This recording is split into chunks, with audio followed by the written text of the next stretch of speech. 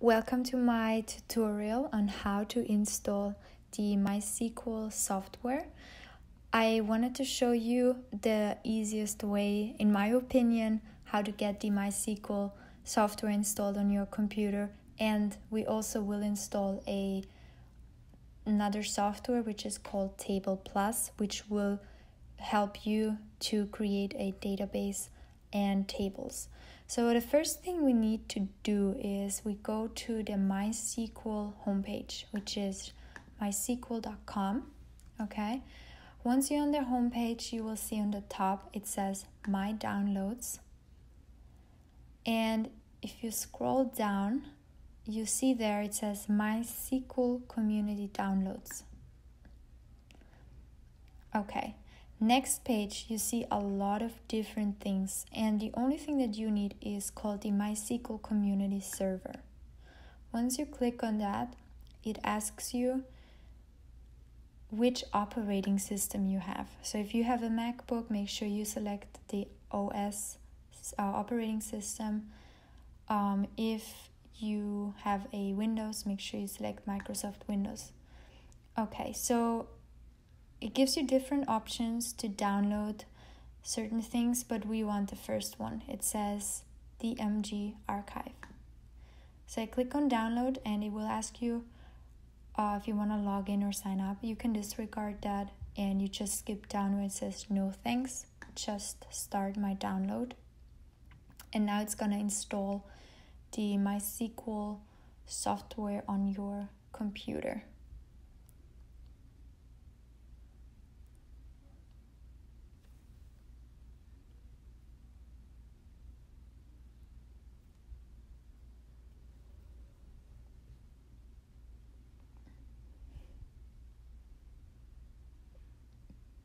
Perfect. So once it's downloaded, make sure you open it. We're not done yet.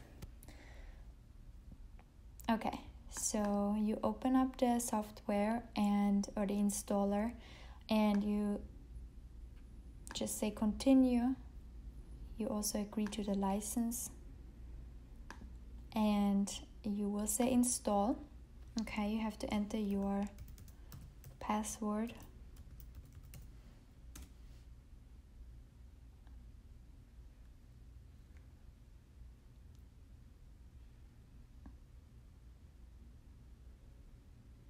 Okay, now here you see it asks you either to use a strong password encryption or use legacy password encryption. I just stick with the first one uh, and say next. And now I enter a password. Make sure you remember the password, it is important. And it asks you again to verify that you want to make changes Okay, so after you did this, it just takes a little bit to load. You close this and you move to the trash. Perfect. So now what I want to show you is if you go to your system preferences and type here MySQL, it as it shows you actually that you have downloaded it successfully.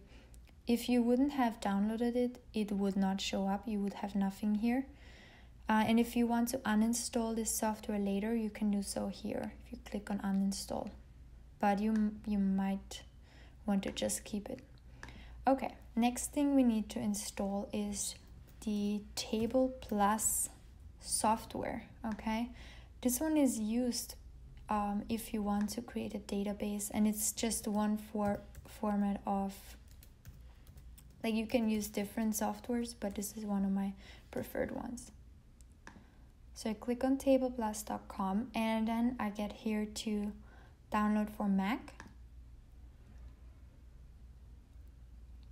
Perfect. So now it is installed, or not yet, almost. And you drag and drop it here into your applications. Since I already installed it before, it told me I have it already, but I wanted to show you how to do that and I close it. And now when you go to your applications you will see it here table plus okay?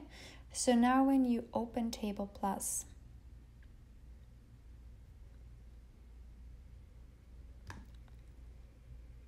you see how the software looks like. So now you should see here your name or the name of your desktop.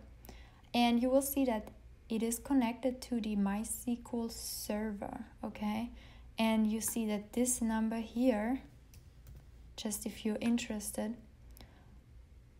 this number here is the same as this number here, okay? Which means it is successfully connected. In my next video, I want to show you how to use Table Plus and how to create a database and tables. So tune in.